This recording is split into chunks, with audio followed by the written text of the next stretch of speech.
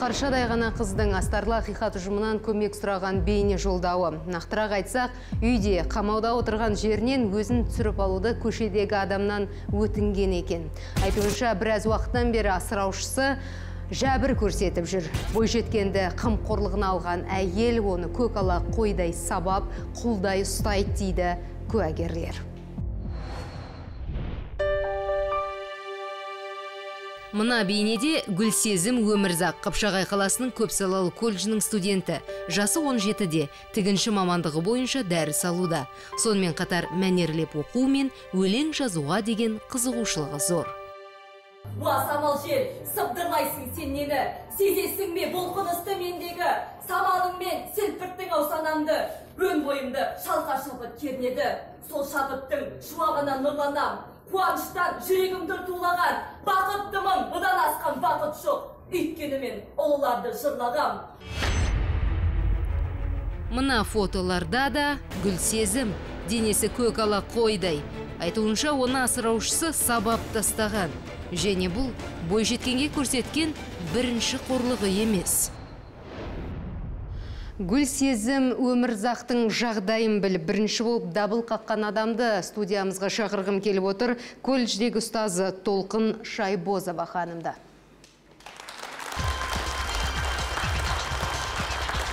Толқын ханым, сәлеметсіз бе? сәлеметсіздер Төрлетіңіз. Жаңағы бейнеде көрсеткен қыз Гүлсезімнің өзі ғой. өзі иә Мына фотоларды кім жасаған? фотоларды мен жасағам мен өз үйімде өзім жасағам Бұл бірінші рет болып жатқан жағдай ма? бірінші рет емес осы мен үшінші рет маған үшінші рет үйіме қашып келді сол кезде ғана мен шыдай алмай уже суретке түсіріп оны біздің тәрбие заучымыз бар әсет ағайымыз отыр бәрі біледі мен Сонда ол- кім оны ұрып соғып жатыр? ә, жаңа ә, асыраушысы дейді ғой асыраушысының қызы деді Сіз оны басшылыққа айттыңыз ба? Біздің колледжіміздің студенті осындай деп. біледі. Мен ең бірінші ең басында күзде келген гүлсезім. Мен оны байқап қалдым. Қолында мына жерлерінде көгерген іздері болды. Сосын мен айттым гүлсезім не болды қолыңа? деп едім. Апа айтты қойшы айтпай ақ қояйыншы деді. Мен енді ұстазбын ғой білемін ғой. Психологпыз бізде кішігірім. Мен білдім. Бірдеңесі дұрыс еме- дұрыс емес екен. Мен сентябрь айынан бірінші күннен бастап бұл қызды бақылап жүрдім. Көзінде мұңы бар. Өмірге деген уже ә, қалай айтсам құштарлығы жоқ. Адам уже көрініп тұр. Енді жап жас қыз енді анандай сұмдық көргеннен кейін енді білінеді адам. Сіз өз сөзіңізде мектеп басшылығына, колледж басшылығына айттым дедіңіз, бірақ олар сіздің сөзіңізді теріске шығарып жатыр. Қазір экранға назар аударайықшы. Бұған дейін сонда жаңа қыздың денесінде көгерген жаңа сіздер ештеңе байқамады ма? Тәртібінде өзгеріс жоқ ондай болған жоқ. Ондай болған жоқ. Ондай болған жоқ. Ол мастерін айтыпты и кураторын айтыпты. Кураторлар енді өздері жұмыс жасап жүрген ғой маған айтпай. Ең соңында жаңағы наурыз айында деп тұрмын ғой сол наурыз айында ә, отдел ап- неде гуд да кездескен кезде сол кезде мен бірақ көрдім оның үстін көгергендерін. Бірақ сол жерде опекун айтты қамқоршысы ол жерде мен үйде болған да жоқпын бұл осылай көгеріп осылай кепті а бірақ біздің көзімізше жаңағы қызметкерлер ішкі істер бөлімінің қызметкерлері отдел опекунның ә, ма- бас маманы және де мұғалімдердің арасында ол дәлізде тұрған кезде өзінің басын стенаға ұрғанын мен өз көзіммен көрдім ал енді үйде ұрады дегенге енді мен өз басым білмеймін Толқын апай, не дейсіз? Колледж басшылығы айтып тұр, ештеңкені біз білген жоқпыз дейді. өтірік мен күзде мен айтайын күзде ең жаңа көрген кезде мен ең бірінші жа, директордың тәрбиесі жөніндегі осы кісіге дәулет жұмағазұлына алып бардым. Дәулет ағай қараңыз дедім. Осындай осындай көгеріп келді не істейміз дедім. Енді мен прямой сол кісіге баруым керек иә сөйтсем деген толқын деді. Семейный разборки араласпа деді. Міне мен сізге айтайын. Үшінші рет қаш- қашан үшінші рет мен үйде болғанда мына наурыз айында. Мына соңғы мына жаңағы суреттер бар ғой. Мен үйімде тұрғанда біздің қазақ тілі әдебиетінің мұғалімі бар хамида нұрановна деген. Сол кісі хабарласты маған. Гүлсезімді үйінен ұрып қуып жіберіпті сыныптасы бар сол қыздың үйінде тұр сол сыныптасының мамасы хабарласты деді. Гүлсезім менің үйімде ұрып қуып жіберген мен үйімде ұстайын десем қорқамын деді. Хамида нұран айтып жатыр енді толқын апай сіздің қызыңыз ғой не істейсіз деді. Алып келсін менің үйіме дедім или өзім алып кетейін ба деп едім. Жоқ әкеліп тастаймын деп айтты менің үйіме алып келсін дедім. Ештеңе істемейді басымды кесіп алмас дедім. Шақырттым үйіме алып келді. Суретке түсіріп алдым бәрін сразу. Тамағын бердім ішпей қойды. Не себепті басшылық осы шуды көтергісі келмеді қызға көмектескісі келмеді? Менің түсінгенім бойынша бұл кісі енді өздеріңіз білесіздер бізде қапшағайда кәдімгідей юрист адвокат. Көп кісілер қорқады. Беделді. беделді. Көп кісілер қорқады бата алмайды. Түсінікті. Осы тұста нақтылық енгізу үшін қапшағай қаласындағы көпсалалы колледждің директорын студиямызға шақырғым келіп тұр. Болат қажы ахметұлы студиямызда. Ал болат мырза сәлеметсіз бе толқын апайды білесіз ғой? Сіздің қызметкеріңіз. Бір емес үш мәрте гүлсезіммен осындай жағдай болған деседі тіпті күзде бірінші рет сізге келіп осы жағдайды айтқан екен. Рас па мойындайсыз ба білгеніңізді? Жоқ толқын ол айтсын маған келіп ешқандай гүлсезімнің өзі де толқын да келіп ештеңе айтқан емес. Бұл кісіге мен айтпаған мен жаңа айттым ғой. Дәулет жұмағазыұлы біледі оның бәрін. Сонда меңгерушіңіз сізге ештеңке жеткізген жоқ па аға? Наурызда болғанда жаңағы жағдайды айтты. Осылай ә, ішкі істер несіне апарып одан кейін сол жерден талдықорған қаласындағы алматы облыстық жаңағы ә, центр адаптации несовершеннолетних дейді ғой соған алып кетті деді. Мен оны жаңағы болған жайттардың бәрін мына қапшағай қаласының әкімінің шешімі бойынша қорғаншының өз міндетін орындауын бақылау қапшағай қаласының білім бөлім мемлекеттік мекемесінің қорғаншылық және қамқоршылық органына жүктелінеді негізі сіз арыз жаздыңыз ба енді? Иә сол комиссияға әкімнің орынбасары ә, комиссияның төрағасы сол кісіге барып бәрі туралы баяндалды. Гүлсезім туралы айтып беріңізші ол қандай оқушы қыз? туралы ешқандай жаманшылық айтатындай аузым бармайды. Мінез құлқы қандай мінез құлқы бәрі орнықты оны жаңа өздеріңіз көрдіңіздер. Колледжде бір ақ жыл оқыды бірінші курс бітірді. Соның өзінде мысалы қоғамдық жұмыстарға белсене араласып жаңағы міне менде ә, несі бар енді сіздерде болды ма болмады ма? Мынау ә, көрнекті қоғам қайраткері ілияс жансүгіровтің туғанына 125 жыл толуына жыл жыр құлагері ілияс атты байқауда бірінші орын алып одан кейін алматы облысы бойынша өлеңнің өрен жүйрігі деген сол ілияс жансүгіровтің 125 жылдығына арналған конкурсқа қатысып кәдімгідей өз өнерін сонда жалындаған оқушының бірі болып жүрді Иә. ғой. Сіздің әріптесіңіз өзінің сөзінде айтып жатыр қапшағай қалалық ішкі істер бөлімінде кездестік деп. Онда қандай жағдаймен барып жүрсіздер? Сонда гүлсезім өз өзін мынау қабырғаға ұрып соқты дейді. Жоқ ондай болған жоқ. Мен сіздерге қазір айтып беремін. Қалай болған? Бұл жерде ол күні ұрған кезде жалғыз гүлсезімде емес аяна деген сіңілісі бар. Бір үйдің қызы. Үш бала ғой бұл кісі де асыраушы асырап отқан. Жалғыз гүлсезім емес үш туған бауырын асырап отыр. Сонда аянаны ұрған гүлсезімді ұрған екеуін сол күні ұрған. Сосын жаңа гүлсезім енді айтады ғой аянаны шақыртыңыздаршы біледі аяна айтады бәрін айтады деп аянаға сеніп отырды шы екеуінде де үсті бәрі көгерген. Сосын жаңағы аянаға айтып жатыр аяна қорықпай айт машиненің ішінде не айттың сен бізге? Бар шындықты қорықпа аяна айт деді. Асыраушысы? Иә. Қасында да екі қызы бар. Сосын аяна үндемей тұрды. Аянаның көзінен мен көріп тұрмын қорқып тұр. Оны үйретіп алып келген естественно ол? Бәріне түсінікті. Сонымен келді. Содан кейін аянаның айтқан сөзі ішіне кіріп біз деген гүлсезім екеуміз деді екеумізді ешкім ұрған жоқ. Гүлсезім екеуміз деді оқтаумен сковородкамен бір бірімізді ойнап ұрдық содан кейін денеміз көгерді деді. Гүлсезім соны естігеннен кейін қабырғамен қолын ұрды. Бұл шиеленіске толы оқиғада ақиқатына жете аламыз ба? Жарнамадан кейін жалғастырайық. Нақтысын айтшы айтыңызшы гүлсезімді ұрасыз ба ұрмаймын. Бұл сонда ана жетім балаларды ана өлген адамды бәрін табыс көзіне айналдырып отыр ғой. Бүткіл республика жайып сізге ұят емес па? Саған не? Біріншіден саған не? Гүлсезім не үшін псих больницаға апардың соны айтыңызшы маған.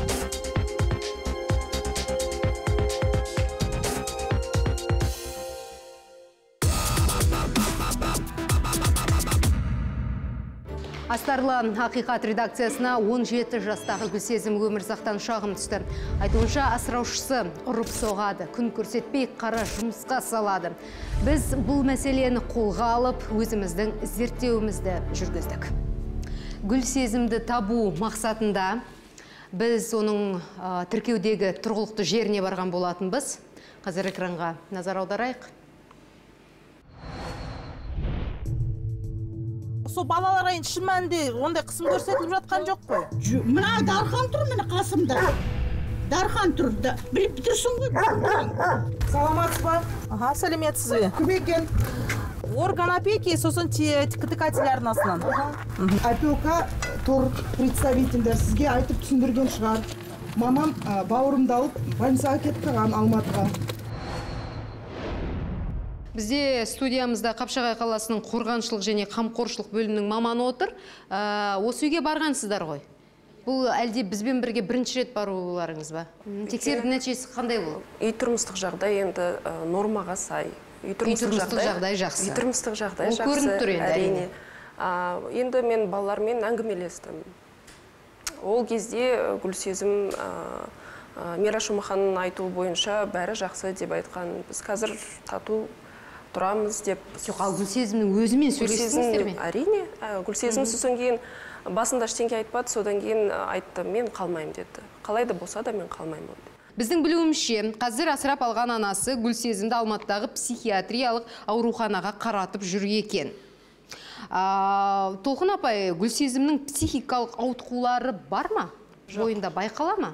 жоқ Бізде ә, күдік болды әрине, сондықтан біз Алматы психиатриялық ауруханасына жолдама берген дәрігермен тікелей барып сөйлескен едік. Экранға назар аударайық.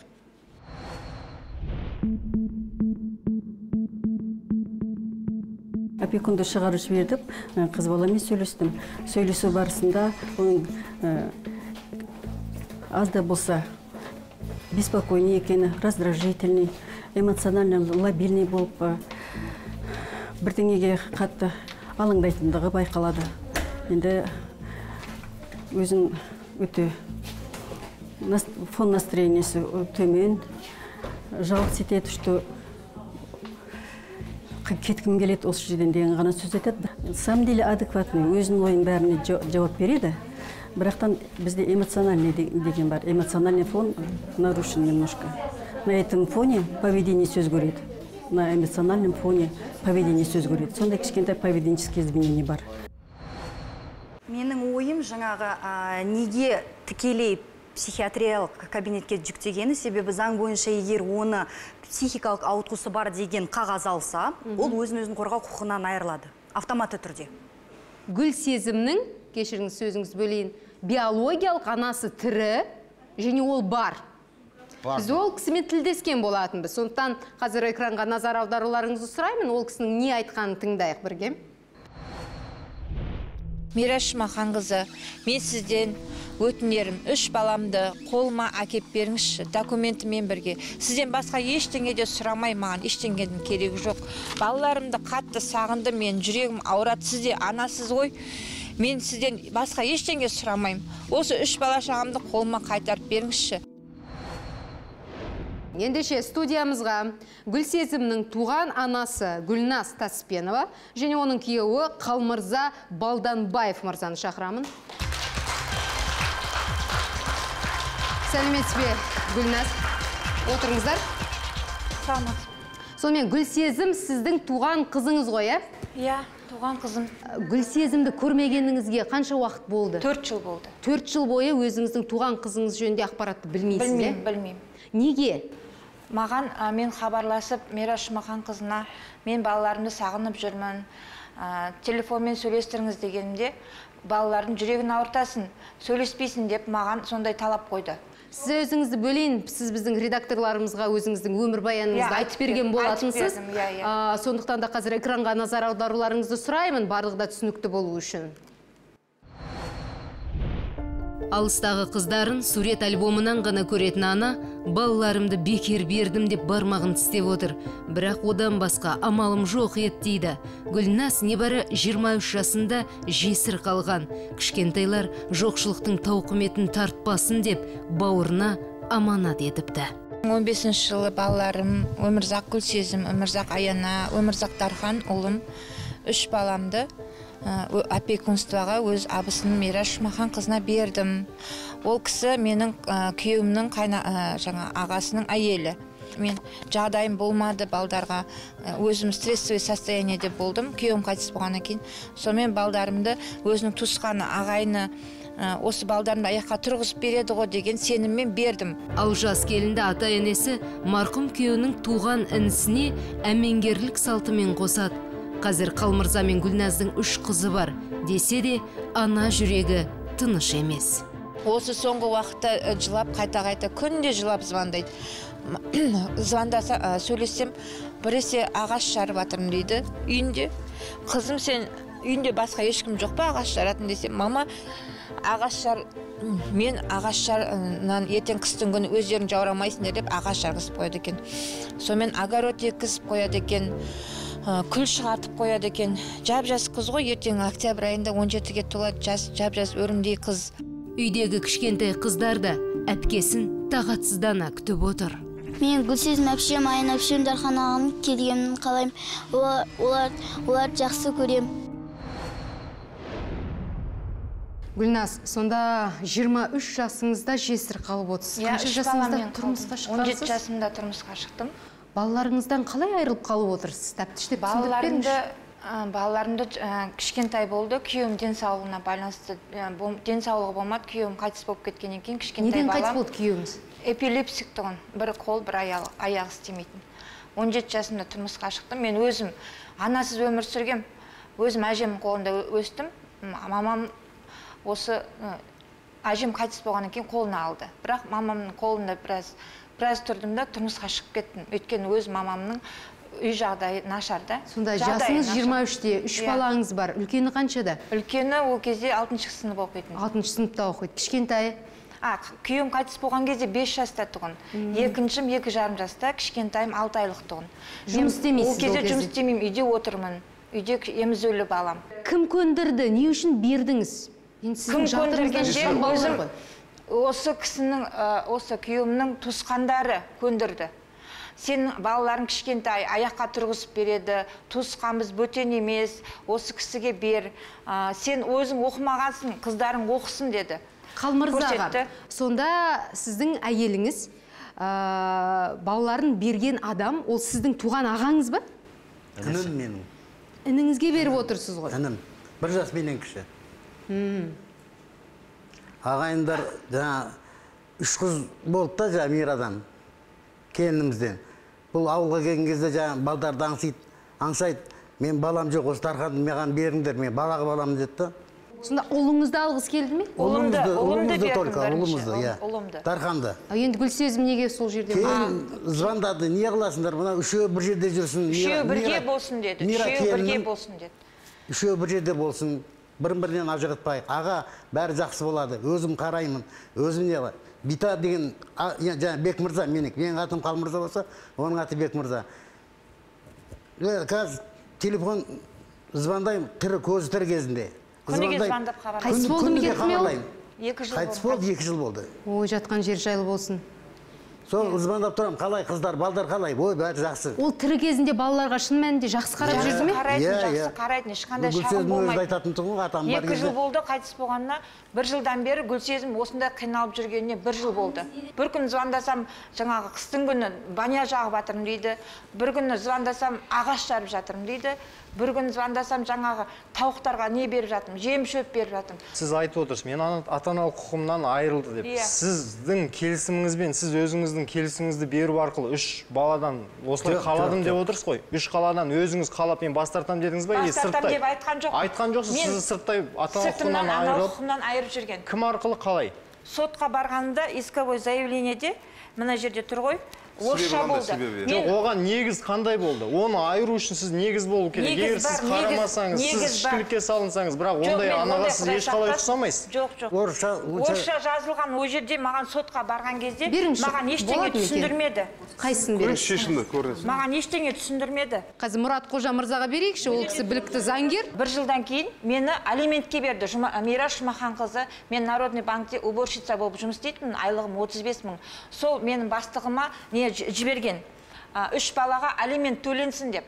Сонда мен үш балама карточкамнан ә, айлығымнан жартысы несін ұстап отырды.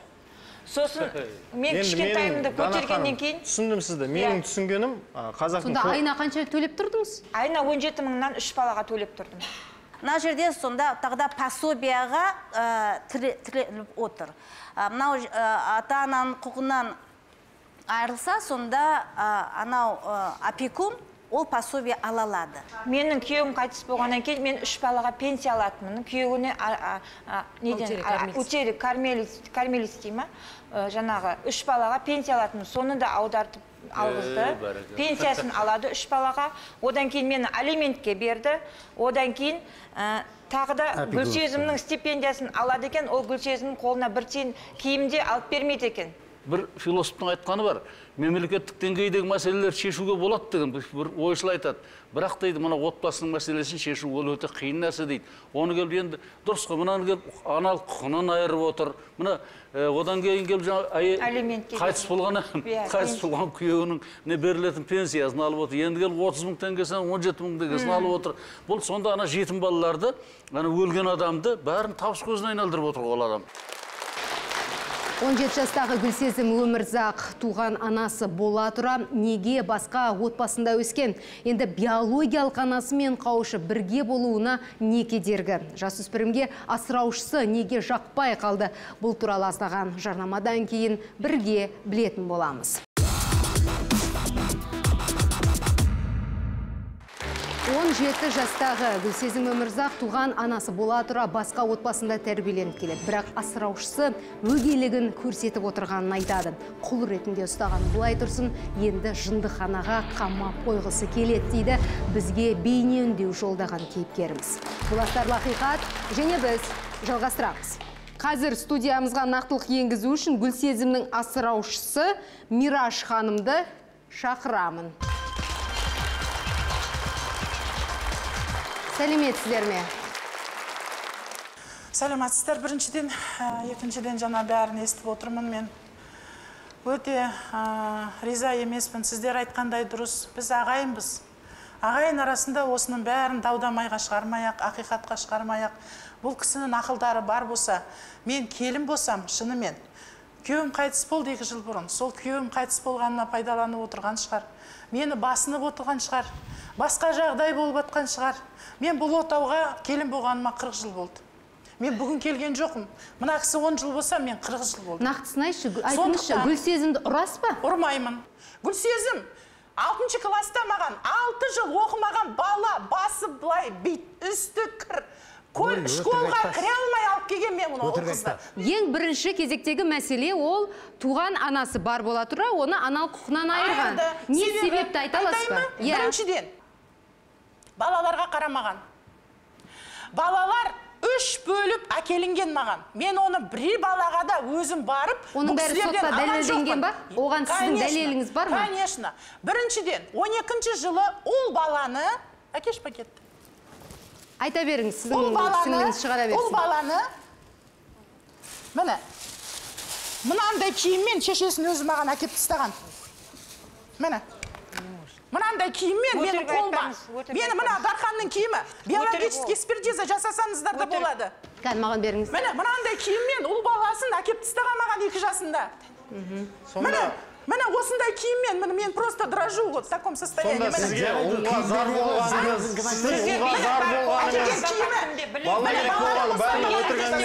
бұл кісіге ұят емес па екі келіннің дауын шеше алмай отыр. Бүткіл республикаға жайып сізге ұят емес па саған ұят. Біріншіден саған ұят. Хорошо енді гүлсезім кеткісі келіп тұр. Неге оны жібермейсіз? Мен жіберер едім. Киімді мен, бүгін ғана жіберер едім. Осы жерден мамасына даусыңыз қосып жіберер едім. Мен қарсы емеспін анау киімдерді емес экспертизаны анау баланы ұрған кезде сол сеняктарды барып сонда экспертизаны жасау Бұл кісі керек ұрған жоқ, қызы ұрды. Мынау Саламат Бекмырза, кім болса да. қызы ұрды. мынау орган опеки деген жоқ органдарға соны айтайын осы кісіні отырғызып, соны дәлелдеп, неге керек. сұрамайсыз жағдайын дедім. Сіз айттыңыз, сіз ана құқына әлі жібергенсіз, ешкім емессіз дедім маған.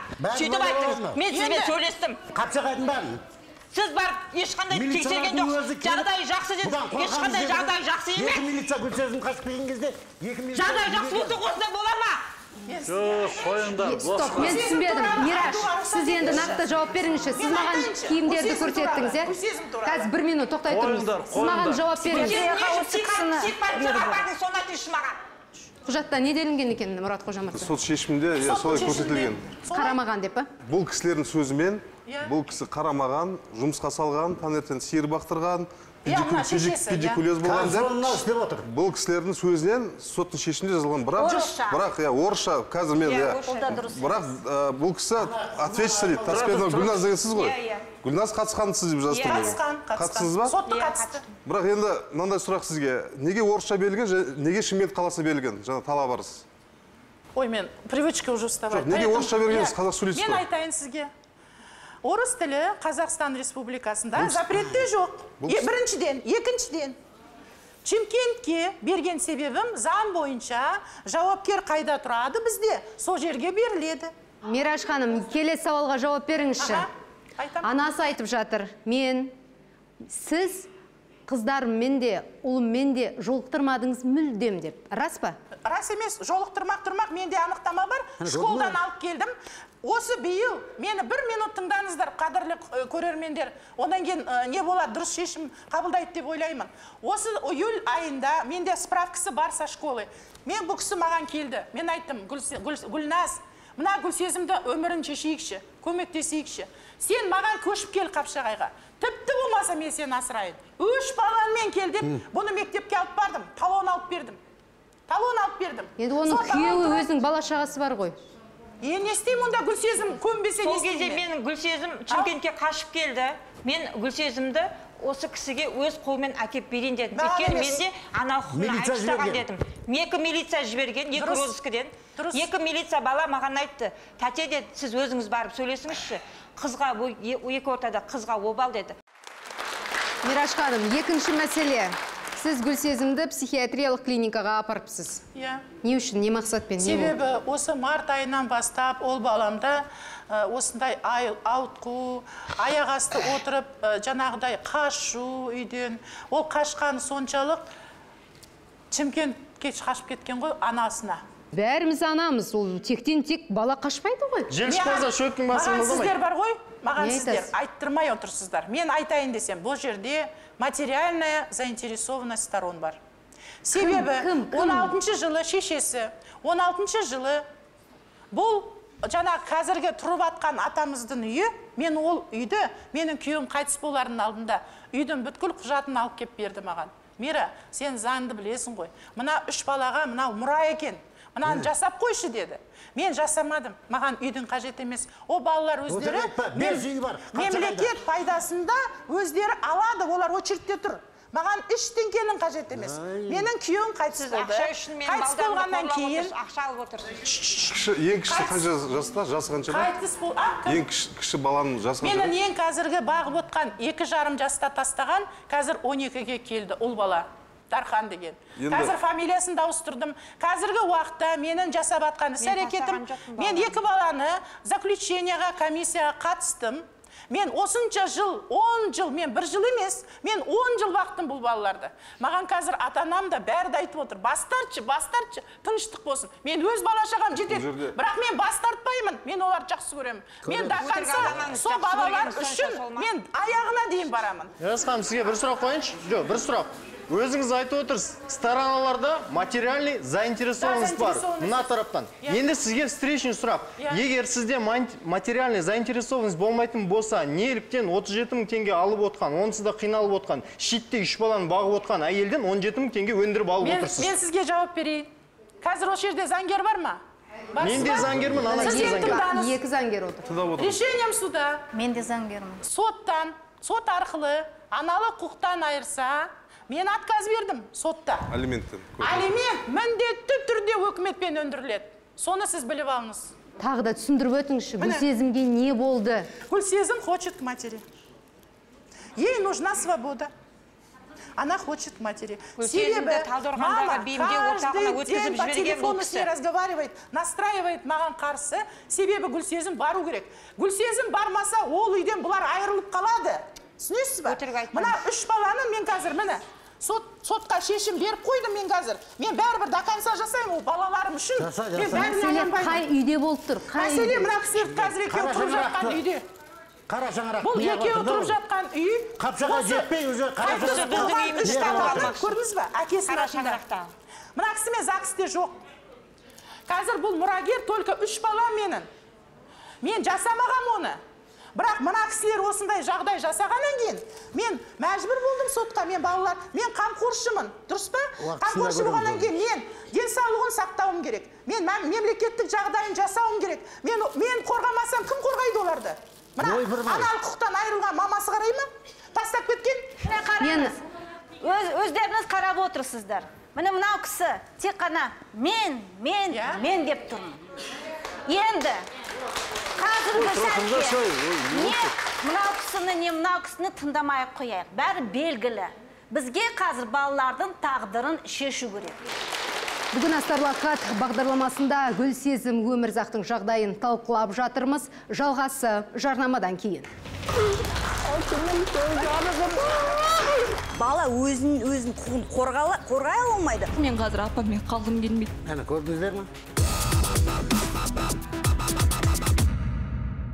Сіздердің қошеметтеріңізбен және сіздің рұқсатыңызбен солай ғой мен Гүлсезімді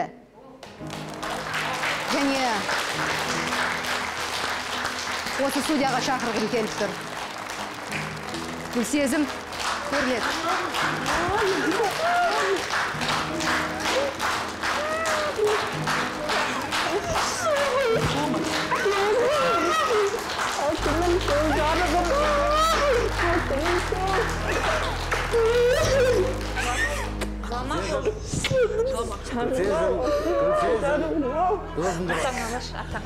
Ей, болды армиядан келген жоқсың ғой болдыңдар не болды сценарий спектакль қылып керек жоқ ондай Гүлсезім, аман есен біздің студиямызға келгеніңе мен өте қуаныштымын. Және де сен бүгін бір өзің келген жоқсың ғой, иә? Сенімен бірге кімдер келді? Бауырларың. Бауырларының есімі кім? Микрофонға айтшы. дархан и аяна Дархан және кім? аяна Аяна. Дархан мен Аянаны да шақырайықшы ондай болса студиямызға. Қошеметтеріңіз. Дархан, сәлеметсің бе? Қош келіпсің. Бара ғой. Сәлем Аяна. Кіре ғой. сіз ана креслоға отырыңызшы аға креслоға отырыңызшы ана жаққа ана жаққа отыра ғой Дархан, Аян, ал сіздер аналарыңызбен, бұл тәтелеріңізбен кіммен білмеймін сізге. Амандасқыларыңыз келеді ме? конечно. Туған анаңнан не өгей ана қымбат па аян саған апаңнан қорықпа ештеңені де қорықпа айтшы жаным шындықтың бәрін айтшы. Өтінемін сенен жаным алтыным. Айтшы бәрін шындықты айтшы. Қойыңдар не болды сендер? Ештеңеден қорықпа Ал сен ама барасың ба? Амандасасың ба? Жоқ, рахмет. Өз қалауың. Мынау микрофон сіздерде. Гүлсезім әңгімемізді өзіңізден бастайықшы. Сіз бізге бейне үндеу жолдадыңыз, иә? Сонда қайда тұрсыз? Кім сізді қамап қойды? ол кезде мен апамның ә, несінде туған мамасының үйінде болдық соткам сол жерде тартып алды мен бермеймін дедім анаммен сөйлесуім керек абылай ағамен де сөйлесуім керек мен бәрімен сөйлесуім керек деп жоқ деп мен жүрегімнен бүйтіп не істеп тартып алды да сол телефонды. Потом менің көзімше сол рак раковинаға сол телефонды не істеп лақтырып жіберді. Апаң ұра ма? Иә ұрады қалай ұрды? Қашан ұрды? Не үшін? Үйде жұмыс істеп жатқан кезде енді қораны тазала дейді қораның жемін бер дейді перепелканың астын тазала дейді. Дұрыстап тазаламасаң әпкем келеді оны қазір мен сені сол боқ жегіземін дұрыстап тазаламасаң деп бауырларыма да сөйтіп айтады. Оларды қазір қорқытып қойды ғой. Сосын мен апаммен бір комнатада жатқым келмейді еш апаммен тұрғым келмейді мен анаммен ғана тұрғым келеді апай түсініп дұрыс па сенің ақиқатты айтқаның өте маңызды сені ұрды ма соқты ма ойланып маған нақты жауап берші суретте біз көрдік көгерген қолдарыңды ол не іздер ол іздер мен сабақ оқып жүрген кезде апрельде ә, досым амина деген до- досым болған сол сонымен вк да сөйлесіп болып отыратынмын сол қыз маған телефон берген. Сол кезде мен телефонмен музыка тыңдап ұйықтап қалған кезде сол кезде азанда келіп есікті ашып соня әпкем кірді мына телефонды қайдан алдыңдар не істедіңдер деп сол кезде ана бар ғой резеткалар сонымен ораған. Сіңілімді де ұрды сол кезде. Сол кезде менің амина досым мына ә, Гү- гүлсезімді де аянантты ұрды түсіріп алыңыздар деп екінші орта мектептің Қал- қаламқас апай ә, неге фотоға түсіріп апа сонда ұрды ғой. Мираш апасы емес оның қызы ұрды бізді қызы. Сіңілімді де ұрған дарханды да бірақ олар айтпайды потому что қорықпаған бәле. Шынымен жақсы көре ма білмеймін. Но бірақ дархан қорқып тұрған жоқ бірақ аяна бұл өзара сіздердің араларыңдағы төбелес Иә. болды. Балалар. жоқ біз төбелескен жоқпыз біз ол кезде. Біз ол кезде бір бір біз ол кезде соня өзара төбелестіңіздер иә осыны басын ашып алайық. Өзара. Өзара. Мынау апай емес. мен шымкентте болғам тойда. Бұл бұл бұл кісі де ұрған мені. Бұл кісі де қанша минут ұрды мен білемін ғой. Осы қашан ұрды? Нақты айтайық. Қашан не жағдайда ұрды?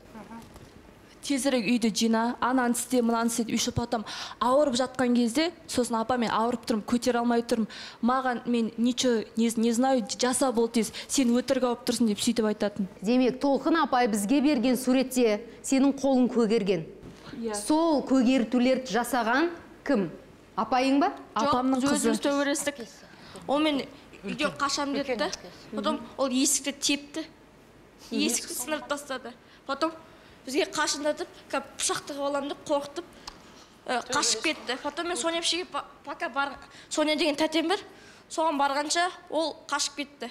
Пот- потом ей дарко сөз деп айт содан өтірік айтпа. бердік. Өтірік айтып тұрған өтірік жоқпын айтпа сен. жарайды оған. Балаларға айқайламайық айқайламаңыз сіздің құқығыңыз жоқ. айқайлайды сенің құқың бар менің бар менің құқым. Менің бар бар саған менде бар аянадан сұраңызшы өтірік расын аяна айтып берсін шынымды айтшы таяқпен ұрған бір алла көріп тұр ғой кейін осы сөздер үшін бәрін алланың алдында жауап бересің аян шыныңды айт сол кезде сені де ұрды ғой менен де қатты ұрды ғой аян аян аға микрофонды бере қойшы аяна не айта аласыз аянаны да ұрған сол күні тек қана біз оның ғана кінәсі болмағаннан кейін емес біз өзімізден де кінә болады бостан босқа ұрмайды ғой адам. Мен бұзықшылық жасағанда енді ә, жарайды молодец деп басымыздан сипамайды ғой айтады олай жасауға болмайды істеме ертең өзіңе ә, жаман болады дейді. Сол үшін сөйтіп тәрбиелейді. Мен оған көнем. Арман сен қандай шешім қабылдар едің? Қазір сенде та- таңдау құзыры болса өте қатты жақсы көремін. Кімді? Апамды. Апаң аты кім? Мираш? Мираш апамен бірге тұрасың ба? Иә. Рахмет саған. Сен ше?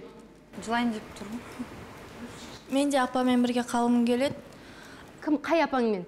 Мираш апамен қалғым келеді. Арман сен неге жылап жатырсың маған сөйлеген кезде айтшы. Дархан иә? Дархан. Бұлар ұялып отыр мектептен. Ертең бізді айтады сөйтіп нетеді деп әрең келді екеуі. неге күлесіздер? екеуін де қорқытып отыр. Неге күлесіздер? Өтірік айтпашы сен.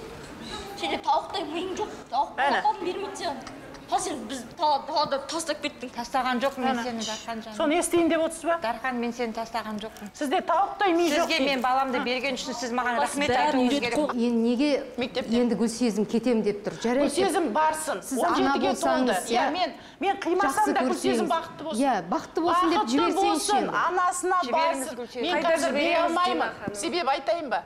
Мен қазір қамқоршымын. Мен өз басым мен бас тартпаймын. Мен қазіргі уақытта мына екі баланы қарасай э, специализированный ювенальный суд бар ғой соған усыновление мен удочерениеға беріп қойдым. А мына он жетідегі қыз бұл папасының атын жоғалтқысы келмейді. Енді сөн қызы болу керек қой бұл кісі қалсын. Анасына барсын мен оған еш қарсылығым жоқ. Бұл балаға қай жерде жақсы сол жаққа жүре берсін. Мен ризамын. Мен бұларға ешқашан жүректеріне қаяу келтірмеймін. Егер де мен ондай оңбаған адам болсам он жылдан бері мен мынандай алтындай балаларды тәрбиелемеймін ғой қалай мираш ханым ойлайсыздар? ондай болса осы студиядан кейін гүлсезім өзінің биологиялық анасымен кетуіне рұқсат кетуге міне рұқсат жоқ себебі заңгер айтады. Неге? Мен емес. Заңгер айтыңызшы айтыңызшы. Болмайды ғой. бұл кісі бөтен адам бұған. Гүлназ неге қалпына келтіруге әлі сотқа Сонда біз қазір Гүлсезімді балалар үйіне болмайды мен емес жүремін. ертең қол жұмсаса сіздер жауап бере аласыздар ма? Мен жауап беремін мен жауап беремін. мен жауап беремін. бұл кісі сразу жетімдер үйіне өткіземін деп айтқан маған үшеуін де жетімдер үйіне өткіземін деді. Е, несін айтасың оны гүлназ. Талдықорғандағы Мен жетімдер үйіне өткіземін деді. басқа гүлсезімге сөйлеуге мүмкіндік берейікші? Дина апай мен жетімхана емес мен психбольницаға өткіземін деп не істеді потому что мен ол жақта орысша да бәрі ше. Маған орысша сұрақ қойды мен орысша түсінбеймін ғой. Мен сені Қазақша врач мен, сен қазір сен апаңды тыңдамасаң ә, айтқан жасамасаң мен сені психбольницаға жатқызамын. Потому что өлем деген адам психбольницада жатады деп айтты. Потом мен амалым жоқ болғаннан кейін мен апам айтқанын тыңдаймын деп айттым бірақ мені ли- либо цаңға либо мені неге психбольницаға өткіземін деп айтты. Он сегіз жасқа дейін сонда боласың деді маған апам. Бірақ мен қазір апаммен қалғым келмейді. Әне көрдіңіздер ме? неге неден қорқасың ба? Иә. қорқамын өтірік істейді неден қалай неден қорқасың? айтшы. Құдайдан қорқ. тыныштық танытыңыздаршы сіз дұрысың. Сіз ақылды болсаңыз сосын бәрін шешереміз Ұспаңыздаршы балалардың көзінше ғой мені ұрып соғады біздің позорды шашты деп айтады ғой. Апай қалай түсінбейсің осындай жағдайда алматы қаласында приют временного содержания деген бар. Сонда мысалы үшін әр бала кәмелетке толмаған бала келіп өзіндікпенен. Мысалы үшін менде ә, үйде осындай жағдай мені ұрады баратын жерім жоқ мені алыңызшы деп сөйтіп қабылдайды. Қапшағайда сондай орталық бар ма? Иә. Бізде бейімдеу орталығы үш ай үш ай салынады ол талдықорған қаласында. Қазір үш бала да келтіруге қауіп бермейді. тұр негізінде. Үш бала мына мен үлкен қазір гүлсезімге қарсы ә, мына жағымсыз мотивтермен бұл кісіні босатамын қазір иә? Қалай да болса да ол жағымсыз мотив. Бұл ә, тәрбиемен ә, тәрбиелей алмады дұрыс. Біреуін босатып қалғанын қалдыра алмаймыз біз. Біз бәрін алып алуымыз керек болады. Ана ана балалар енді апаратын жерлеріңіз бар ма? тек қана бейімдеу орталығы ол. Адамның тағдырын тек қана заңмен шешуге болмайды. Мен мына гүлсезімді аяп отырмын. Айтайын ба неге екенін? Бұл қыз қазір екі оттың ортасында қалып Иә, отыр. иә. ертең ана апай ана қамқоршысының үйіне барса мен мына кісіге былай енді балаларды асырап баққаныңыз рас еңбегіңіз бар құдайға шүкір алла разы болсын. Бірақ сіздің ана ниетіңіз маған ұнамай отыр.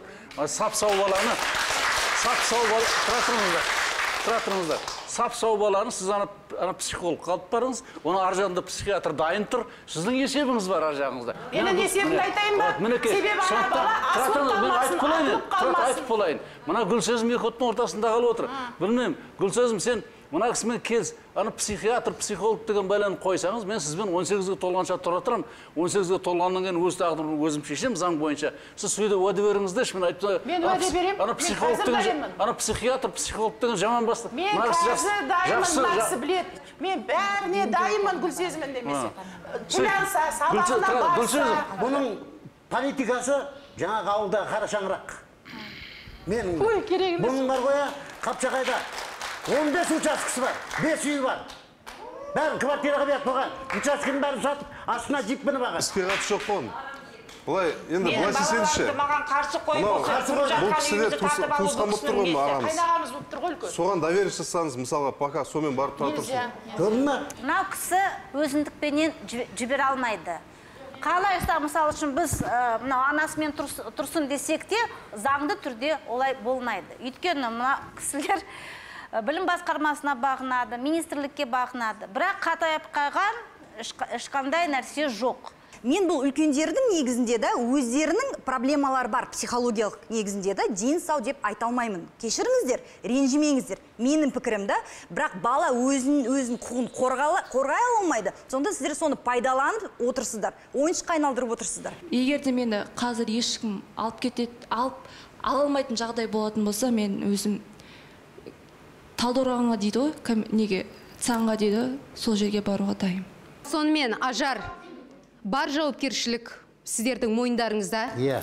Мінекей оқиға осындай болып жатыр. Демек сіз айтқандай біз гүлсезімді үш айға бейімдеу орталығына апарамыз. Солай ғой? Осы бағдарламадан кейін. Үш ай ішінде бұл іс қайта қаралуы керек. Ал гүлназға білікті заңгер керек. Ханым сізге ә, лицензиям жоқ адвокат ретінде? Бірақ толықтай арыз жазып қалай қай жерге қалай заявление жазуға толықтай көмектесемін Астарлы ақиқат ұжымы бұл оқиғаны назардан тыс қалдырмайды. Отбасындағы жағдай, жергілікті органдар, облыс, тіпті министрлік көлемінде де тексерілетініне сенімдіміз. Өйткені әрбір бала бақытты болу үшін жаралған. Осыны ұмытпайық. Сау болыңыздар.